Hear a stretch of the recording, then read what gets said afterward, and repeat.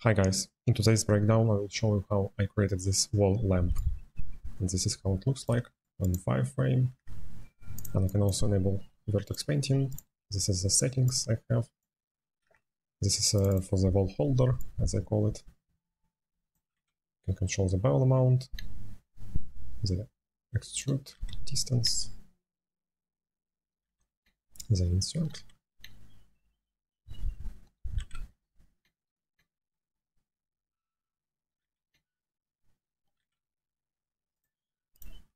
you can create your own profile shape uh, for the stand, uh, as I call it. I'm not sure how it's properly called, so I called it stem. So you can create a custom shape here.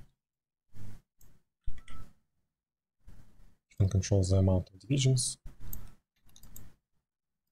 And the glass uh, glass shape uh, is uh, procedurally being created from the shape itself. So the amount of divisions the, the shape has, uh, it will be transferred to the glass shape also. And the glass cover have these settings. You can control the thickness of the glass, bevel amount, divisions, we can create this shape.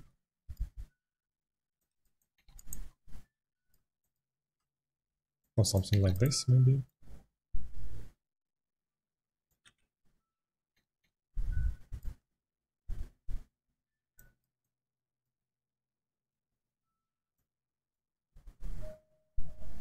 Something like this could be also created. So there's quite a few possibilities and variations and uh, and yeah. And this is uh, Unreal materials uh, which you can drag and drop inside of Unreal Engine through uh, through HDA uh, and this will assign ma material to the corresponding geometry. So if I want to assign material to the light bulb I can create a material instance inside of Unreal Engine and then drag and drop to this HDA parameter. And yeah let's let me actually show you how I created it.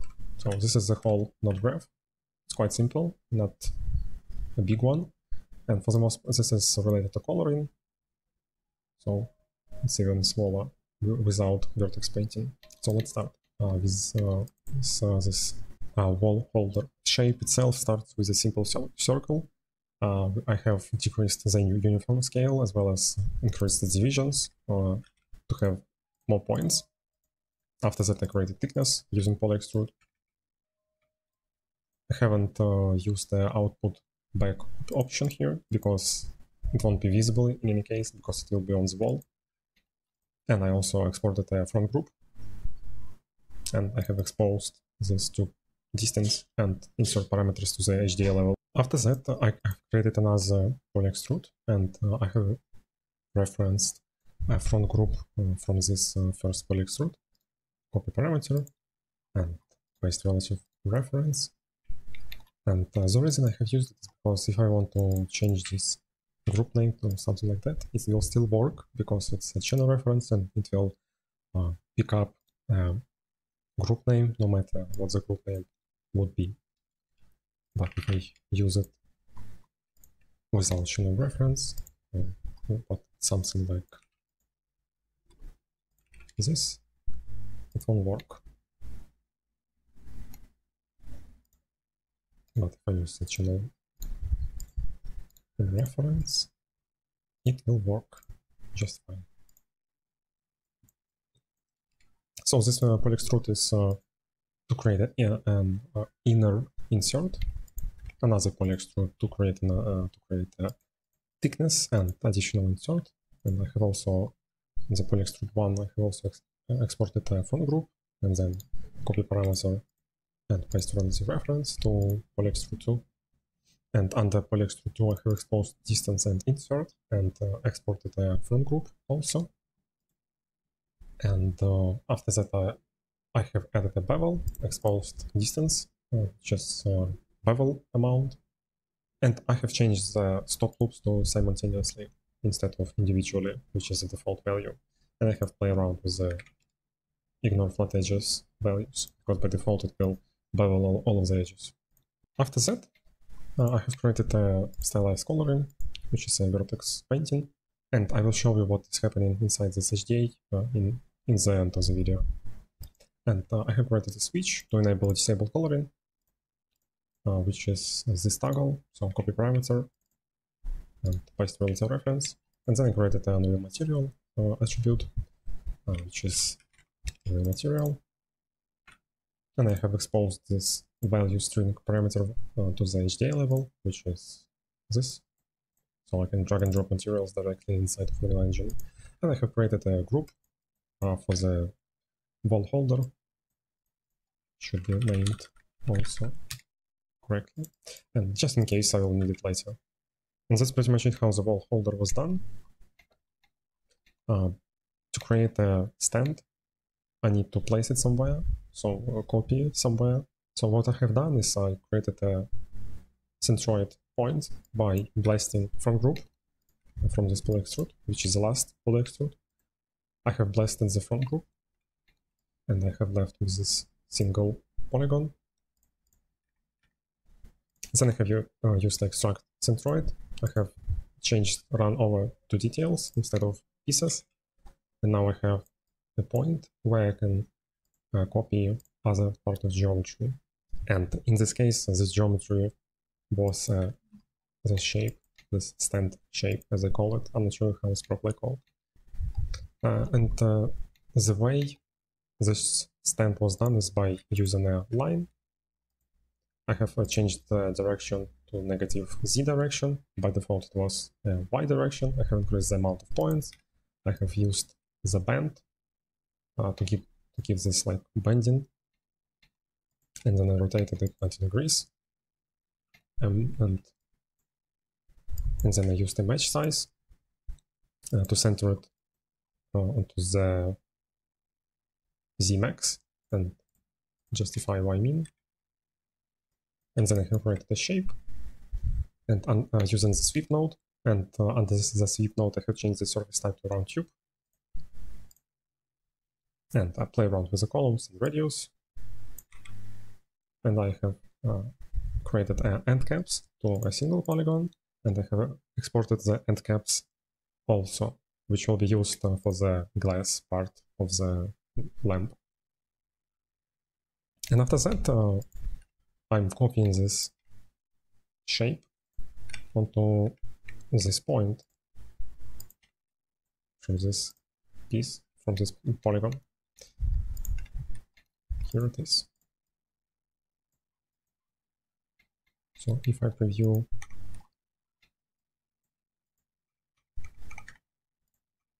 it's barely noticeable, but it's here. And yeah, and that's how the stand part was done. And uh, also, again, vertex painting, coloring, Unreal Material, grouping it together. And let's move to the glass part. And to create a glass part, I have also uh, blasted away uh, end caps. Uh, in this case, I haven't used the channel reference, and let's quickly fix it. And the end caps comes from the sweep node, which is this one.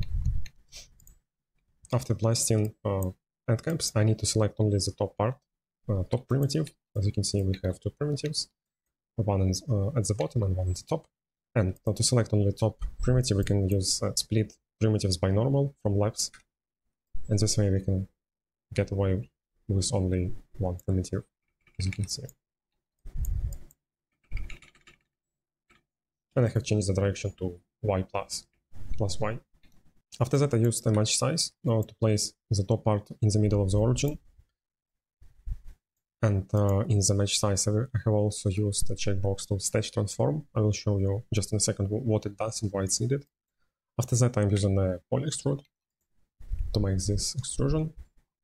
I have exposed insert and distance to the HDA level, so I can control the these other parameters here, and everything here is by default. I have also checked uh, the transform extruded front, but I haven't actually used it, but it, it could it's something that could be used also to give another type of variation look.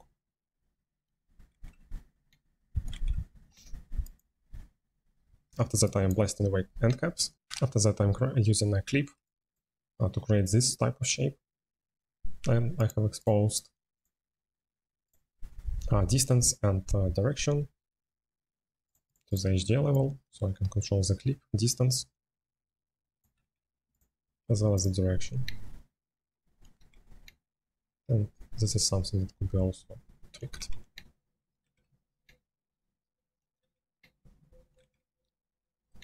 After that, I'm using a poly extrude to create thickness and also using an output back option.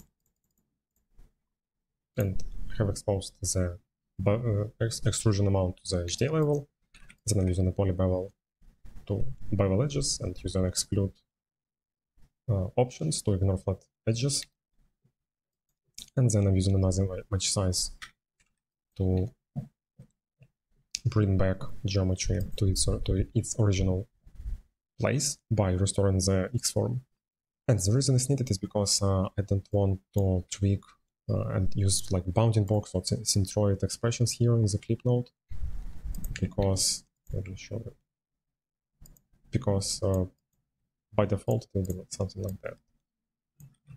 And the clip as you can see somewhere down below. And it still works right now but there could be some situations where it won't work so uh, to avoid this quote-unquote headache uh, you can use a match size to place a geometry in the middle of the origin where everything will, will work as expected and then you can use another match size to restore its original position. So in the first match size you need to stage transform and, and in the second match size you need to restore its form to bring the bring geometry back, uh, back to its original place. You can also do it with the attribute uh, transfer by attribute which will do the same thing. And you can, as you can see, it's, it's right now it's like so, and you, you, need, you need just to uh, use a toggle to invert transform both of these works. And after that, I'm using again uh, poly uh, vertex painting, Unreal Material, and grouping it together. And uh, what about the light bulb? Light bulb starts with a simple sphere. I have squished it a little bit to make this type of shape, I have uh, decreased the uniform scale, and then I have used another match size to place light bulb on top of the uh, this piece, uh, which is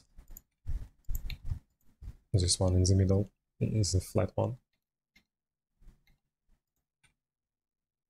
And uh, to do it, uh, I have changed the justify y to min and max. And again, uh, created a vertex painting, but instead of HDA, I have used a simple uh, color attribute adjust color, which is used inside of these HDAs. And it has uh, exposed the constant color and set operation to set initial. The default value will also work, but I have changed it to set initial just in case. And uh, then again, attribute create to create a material, grouping it together and merging everything together. After that, I have created a bend SOP to create uh, some sort of bending, just if I need it, to create something like this, if it's something I will be looking for. And uh, you can also enable twisting. You can enable length scale.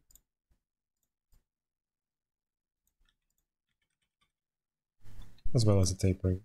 And you can manually tweak where tapering will be affected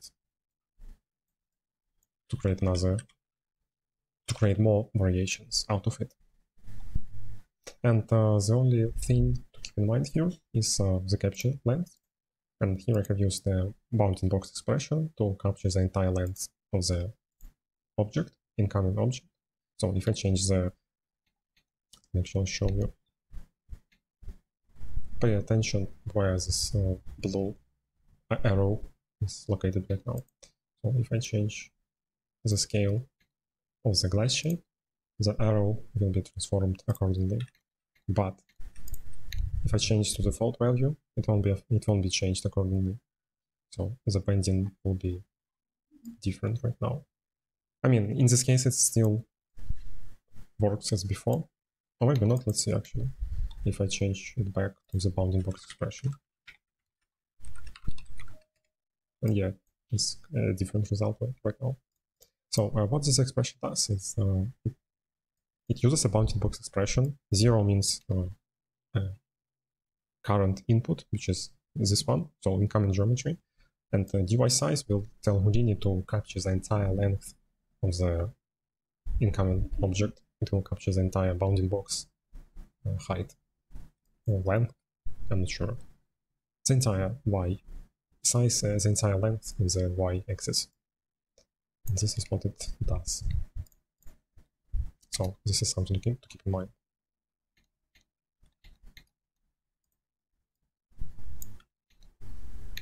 And uh, after that, I'm using a copy to points.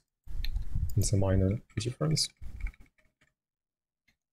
So I'm copying everything from here onto this single point, which I have created from this shape polygon by using extract instance for it. And after that, I'm merging everything together. So, uh, and the reason I have used this uh, copy to points because if I want to change the distance, this stand shape will, will be placed accordingly in the right place. After that I'm creating UVs using a switch to enable and disable it, and the way I have done UVs is by using a for each loop, uh, for each connected piece. And uh, what I have done basically is I used the unwrap a node, which is set to default values here, And this is the UVs I get. Not ideal, but I will be using vertex painting anyways, so this is just in case I need them. And uh, this is something I will be revisiting. So this is how UVs could be done, and then I'm using the match size to place an object on top of the world origin by using a, and also using a justify z to max, because by default it will be somewhere like here and justify minutes to place it on top of the origin. And then I'm cleaning everything. Actually, not cleaning everything, I forgot, forgot to use it. So uh, I want to remove every attribute except Unreal, except UV, except color, and except normals. So before we have this lot of groups, and actually we can keep these groups. So this is groups will be here in case I need them. And Unreal material is uh, a Unreal material attribute. And then I'm creating normals, which should be uh, here. And then I'm creating a uh, collision geometry for the Unreal Engine, and the group name should be rendered collision geometry. And on Houdini Engine and Unreal Engine will recognize it as a collision geometry. So that's pretty much how the wall lamp was done. And what about coloring? This is very simple. So I have a base color, and uh, this base color uh, has operation set to set initial, and then I have exposed constant color and color correction. And uh, by setting this uh, base color to set initial, uh, we can later use uh, another attribute adjust colors, and we can specify another operation. In this case, I will uh, most of the time using the operation set to multiply to stack uh, colors on top of each other, basically like in Photoshop. And the reason using ground plane here is because uh, for the for computing ambient occlusion, so this, this ground plane is needed to cast shadows uh, from the ambient occlusion on top of the object. So let me actually show you. So I have enabled uh, AO coloring under the wall holder and as you can see this this is a ambient occlusion effect which you get we can also change the color of it and without this ground plane there will be no effect. As you can see here it's the effect is different now. So but maybe you're looking something for something like this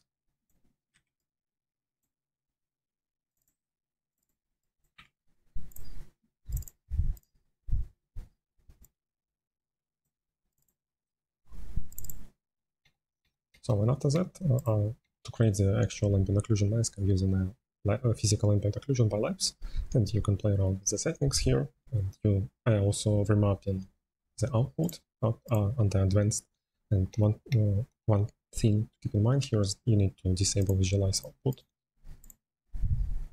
And after that, I'm blasting geometry, this grid geometry, here and here. And then I'm remapping this ambient occlusion mask, which I, which I have created by using attribute adjust color. And you, you, you need to change the pattern type to remap attribute. And then you have an option to use uh, to, to specify a source attribute, which I copy parameter, use the channel reference by copying parameter and pasting the relative reference here. And you can also use a different range values. In this case, I have used the color ramp in all of the attribute adjust colors, most of them. And then another switch to enable disable ambient occlusion. Same goes for the curvature, same goes for the edge color, but instead I have used the edge color node, uh, which basically the curvature and peaks and valleys, volleys, how it's pronounced, and uh, basically convex and concave. Uh, same goes for the George buildup, which is a mode under the physical ambient occlusion mask uh, node. And then I have added another attribute called adjust to create a global noise. And the operation type is also set to multiply, but the pattern type I have changed it to noise. And you can play around with the noise type, element size, offset, and other parameters it provides. And the last part is uh, I have added a global color correction, and this is needed to let me actually show you.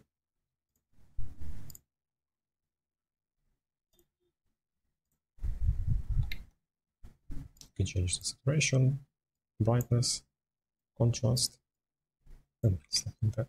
So it, it, it, it is a global color, color correction, but I have also enabled a color correction to specific, uh, to the base color. So if I, if I, if I have this base color, I can it's actually it. So something like that. And the base color maybe green, maybe oops. And then I can use this color correction only onto this color.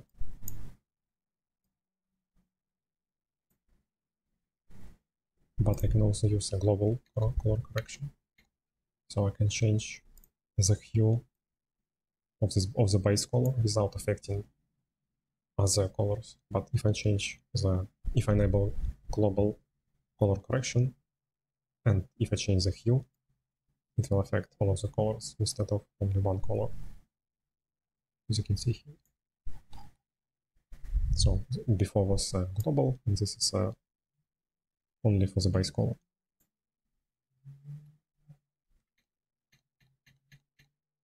And uh, yeah, so this is uh, how the vertex painting was done. The same thing for the other parts of the geometry, except light bulb. For the light bulb, I have used a constant pattern type and have we have used this color.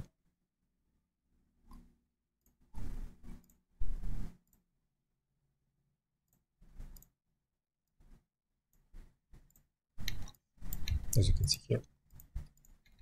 Uh, so yeah, this is how the wall lamp was done. Hope you found it useful. And if uh, something was confusing, please uh, drop, drop a comment in the comment section. I will answer your question. See you in the next video. Take care. Have a great day. Bye.